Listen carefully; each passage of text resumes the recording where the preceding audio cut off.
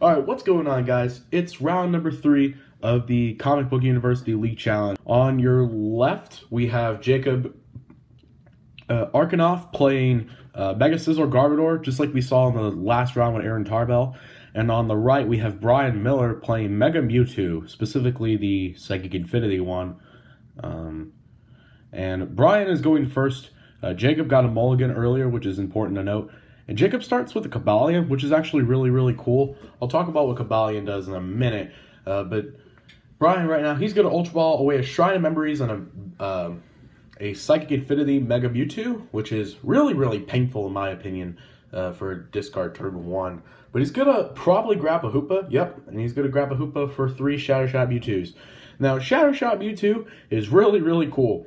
Um, for one Psychic Energy, its attack, Shadow Shot does 30 times the amount of Psychic attached to this Pokemon, like Psychic Energy.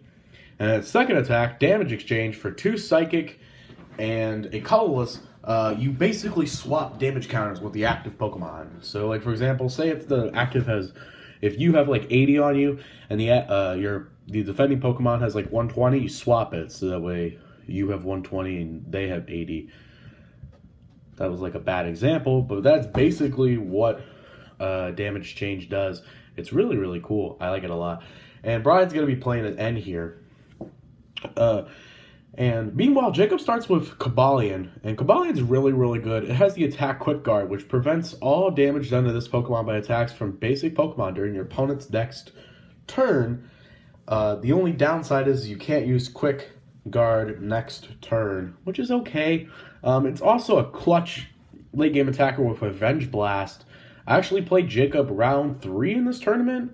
Or no, round two, my bad. This is round three. Uh, round two, I played Jacob, and I was playing Volcanion. I, I actually uh, I lost to him because I wasn't able to take out his Garbodor, um, which was something that was kind of interesting to see. Anyways, though, I believe after the Spirit Link and uh, Psychic, Brian's gonna pass. Uh, we see Jacob go for a Trainer's Mail, I believe, for that Ultra Ball, and he's going to Ultra Ball away his Garbodor line. He realizes that the Garbodor is not really effective in this matchup, which is fair, I mean, in all honesty. And this is actually why I like the Hex version more, because other Garbodor decks, you're playing more pieces um, with Garbodor than you are with Hex, which means uh, less cards would be would be dead in this matchup. However, since he is playing the Garbodor version, it appears that he is going to have to throw away a little bit more resources than what he likes, or a little bit more of uh, Jacob's resources are dead. Uh, but he Ultra Balls and he grabs, I believe, Scizor as he benches it, and is going to attach a metal to it. He also has a Float Stone in his hand, I believe, and a Spirit Link. And we see a pass. So I think his, I think, uh, I think Jacob's hand is just a metal and a float stone. We see Brian draw because I'm pretty sure Jacob had a really good hand and he just got end in the garbage. Uh, we see Brian go for a Mega Evolution here. And it looks like it, he may be playing the Shrine of Memories here. And he is. He's going to play Shrine of Memories. Uh, and then he's going to discard his hand. So Shrine of Memories, what it allows him to do is for every Pokemon in play, they're allowed to use the previous evolution's attacks under them, assuming they have the necessary energy, which is really, really cool. We see Brian go for a Trainer's Mail here. As he, we see a VS Seeker, a Mega Turbo, a Sycamore, and I didn't see the fourth card uh, in his in his uh, trainer's mail there. He definitely has plenty of targets that he could grab. Um, the question is, what target is he gonna grab? That's the big question. He's gonna grab a VS Seeker, as we see Brian shuffle up here. And he also has the Mega and the Active. Uh, so he could potentially apply pressure this turn with a uh, another psychic energy. Uh, if he gets a double colorless here, he would be in the driver's seat theoretically. Uh, we see a float stone on a Hoopa and a psychic energy attachment, which is okay. Um, could be a little better.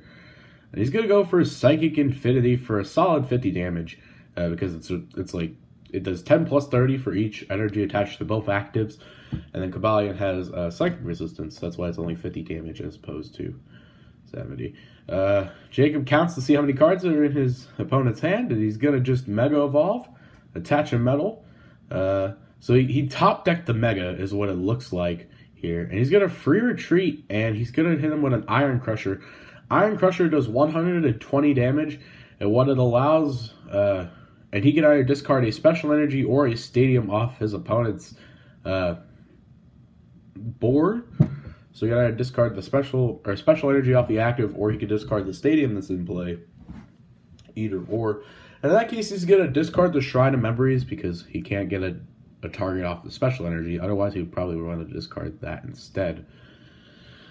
And we see Brian's thinking, and what's also good about discarding the stadium is now he can't damage change that energy or that damage off of his Mega Mewtwo, so he can't heal it heal it effectively, um, which is really, really important.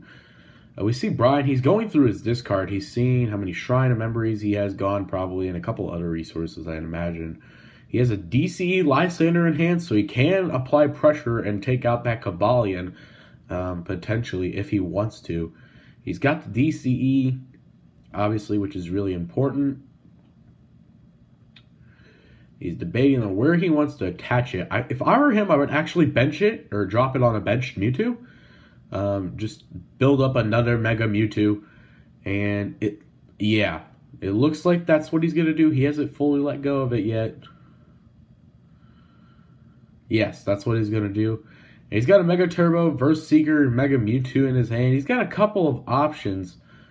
But I think he's just... Oh, okay. He's going for the retreat here sending in the Hoopa, playing it a little conservatively uh, so he could save that Mega Mewtwo and not get knocked out. As we see a Mega Evolution in the pass here. Um, whenever he Mega Evolves, he obviously ends his turn. And Jacob is in top deck mode. He We see him drop a Metal on the Cobalion, and he's just going to go for an Iron Crusher for 120. As Brian top decks a Psychic Energy, you can attach that Psychic. Ooh, he can also Mega Turbo. Ooh, this is going to be a great play for Brian. He's going to be able to uh, Mega Turbo, attach a Psychic, and uh, he can do a lot of damage with Psychic Infinity. I think it's doing uh, 170 after resistance, if I if my math is correct. And we see him go for a VS Seeker, probably for an N here. Oh, okay, looks like he's going for a Sycamore to be a little aggro, discarding, I believe, his third Mega, as well as a Lysandre and a Psychic Energy. Um, Personally, I actually would probably have just megaed again. Um, I know that sounds insane. Then again, Brian knows more about his deck than I do, obviously, because it's his deck. Uh, but I feel like a Mega Evolution there would have been fine because you're not really losing anything uh, too major in just Mega Evolving and then sacking off your um, your Hoopa for prizes because you can end your opponent later. But he's going to go for an Ultra Ball, discarding Parallel City and an N and he's going to fail the search. It looks like. So, yeah, Brian's list is, is pretty standard. I actually don't think he plays um, Garbodor, which is going to be interesting. Uh, he plays the version of Mega Mewtwo that I would probably play, which is uh, more of a Hexy version. Um, and we see him go for a Shaymin here. He's going to draw a couple cards. He looks like he drew four. And we see a Hex and a Wobbuffet in his hand. Wobbuffet's really, really clutch as a uh, non-EX attacker in this deck. Not a whole lot of people recognize Wobbuffet because people think it's slow, but its its ability is really good if you start with it.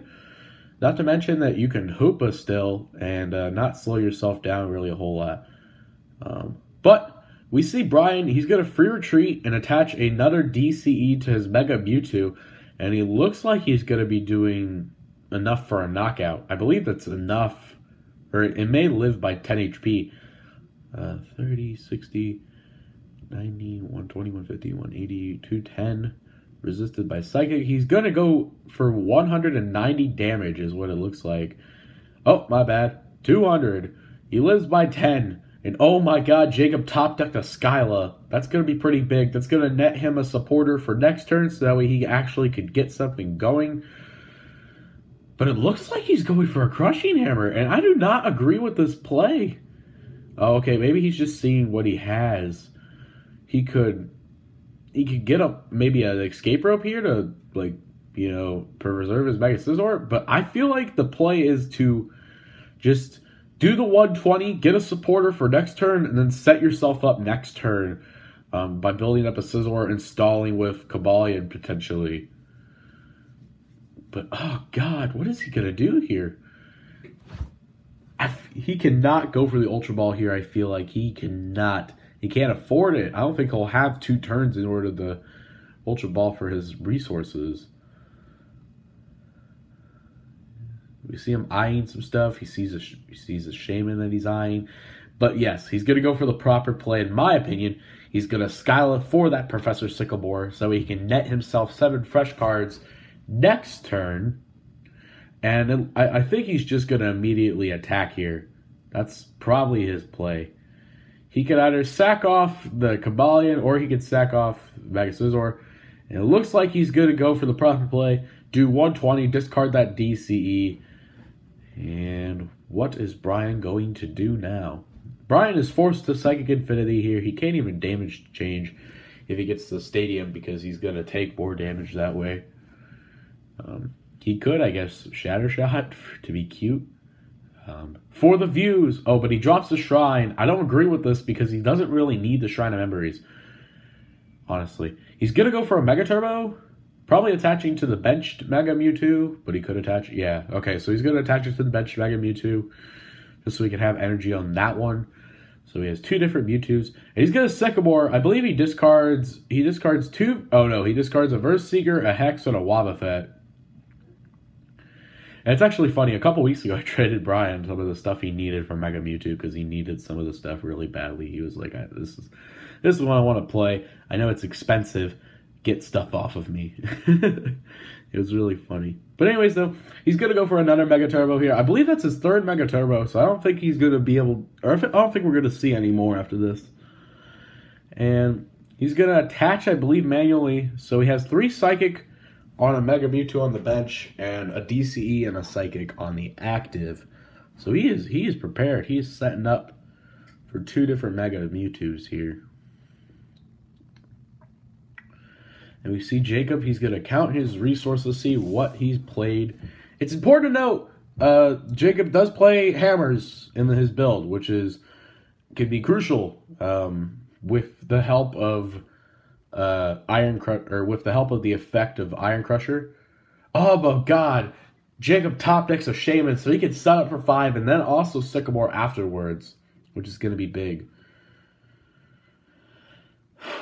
Now here's the big question: Is what does what does Jacob do? He's ha- he has a parallel city in his hand and a sycamore. What else can he do here? It looks like he's going to parallel himself to three, and I don't agree with this. I personally think it should be better for him to parallel his opponent, but he's going to parallel himself to three bench. I don't know if I like that. Um, he's going to Shaymin again for two cards. He hits I believe it was double hammers. Or it may have been one in the Ultra Ball. He's going to go for a crushing hammer here. And it's a heads. What is he? What is he discard here? it's actually funny. I, I gave Jacob that coin um, because he was a new player. He didn't have any like randomizer, so I was like, "Here, bud. Here's a couple of coins that you can use," which is actually kind of funny. Just a little background knowledge you guys may or may not care about. Um, Jacob, I think, is still thinking on which energy to discard. Personally, I discard one of the Psychics off the bench Mega Mewtwo. Because um, you can easily discard the uh, DCE off the active if you could get a Mega Scizor play, or if he plays E Hammer. I don't remember if he plays E Hammer or not, um, or a Flare Grunt or something like that, even. Um, or you can discard the Psychic off the active too. Either or is a good play, in my opinion. You should not discard the DCE, is what I'm trying to say. And I think he's calculating like what what what can I what mathematically is the best for me. He's going to discard a psychic off the bench one. I personally like that play a little better than the active, but I could be wrong. Um, he's going to Ultra Ball away Spirit Link and a VS Seeker here. Ouch, a little hurtful. A little hurtful on these uh, discards for our Ultra Balls today, aren't we? He's going to grab himself a Scizor, and that's his third and final bench Pokemon. He can no longer bench anything else. Um, I guess the other two cards in his hand must be really important since he didn't discard a Spirit Link. And he discards a Mega Scizor. See, he could have discarded the Mega Scizor off the Ultra Ball and then attached the the um the Spirit Link. So that could have been a play he could have done instead. Ooh, James gonna go for a revenge blast, and I believe that's doing ninety because I think it's thirty plus thirty. Yeah, thirty plus thirty plus thirty for each prize card your opponent has taken. So I believe he's gonna take two prizes with Cobalion here. And just like that, the game is back in a uh, a prize race, assuming he does this, which is actually pretty solid. And yep, he's going to knock out the Mega Mewtwo, taking two prizes. And on to Brian's turn, he sends in the Hoopa. And he top decks, I believe, a Sycamore. Yep. He's got a Hex, a Trainer's Mail in his hand. He's going to play the Trainer's Mail. He's going to Trainer's Mail, find a couple Ultra Balls. He's going to grab one of the Ultra Balls. I mean, it doesn't really matter. I guess it thins out the deck. Maybe he's looking for a certain out that he needs. Like, I don't know, VS Seeker or something. He offers the cut, obviously. And then I think the best play for Brian is just if he has a Lysandre, the Lysandre potentially. Um, or actually, no, I don't even think you want a Lysandre here. I think you'd want to take out the active just because it is a one prize non EX attacker that could swing for multiple or high amounts of damage. And it, swings even higher amounts of damage if you knock out other things that isn't the Cobalion, obviously. So Brian looks like he's going to bench something else. Potentially a Wobbuffet, maybe a Shaymin. Oh, never mind. We see him attach a Psychic on a benched Mewtwo with a Spirit Link. I don't know if I like that play because I believe, unless he has a Super Rod or something, he can't recover the third Mega Mewtwo he discarded.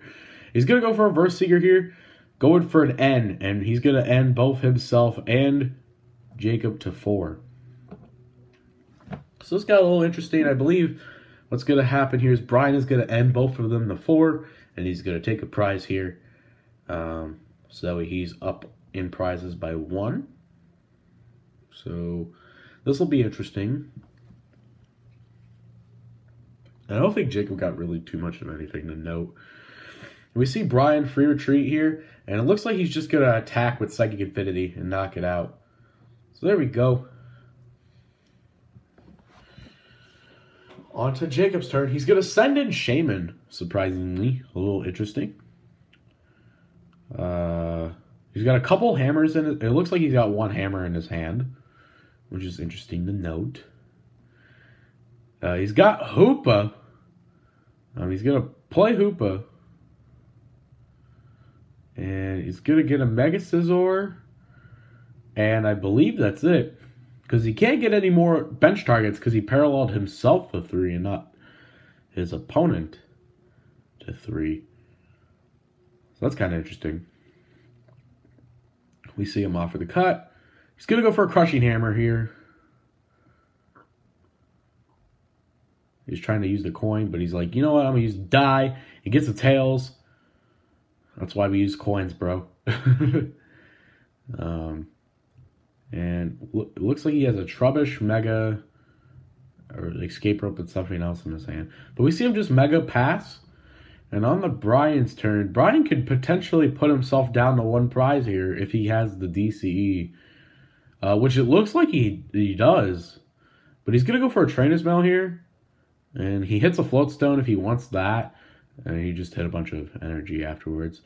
I believe he's to take the Float Stone just so he can uh, he could attach it to Shaymin, saying, hey, even if you try to Lysandre me here, I'm gonna be able to have a free or an out to my uh, Shaymin being stuck in the active. And I think the smart play is to just okay, he goes for the hex here. Um, I don't know how big that's gonna be. And we see him drop a DCE and a Mega Turbo. Uh oh, this is big. He's going all in with this one Mewtwo and he's going to Psychic Infinity. If he had a Shrine of Memories there, that would secure him the game probably because he would have a fully healed Mega Mewtwo. And we see Jacob draw, and it looks like he doesn't have anything. And oh, I believe that's the game. Yep. Okay. It looks like Jacob conceded there. He just kept on dead drawing whenever it was kind of important. Um. Obviously, they oh they so I think they both have the same sleeve. They had to figure out which whose parallel that was. But I believe that's the game. So that's to do it um, for this coverage in the league challenges. I'm sorry I wasn't able to get rounds four and five up. Uh, round four actually would have featured me versus another Mega Scizor, um, and it's Volcanion versus Mega Scizor. It was kind of a a weird scenario that happened. I wish I did record that game um, because it, there's a funny judge ruling that happened, um, which was kind of cute. And then I believe round five uh, was the final round of the tournament, and I believe we had um, Mega Mewtwo versus Mega Gardevoir, which would have been an interesting matchup as well. Um, but I don't really know.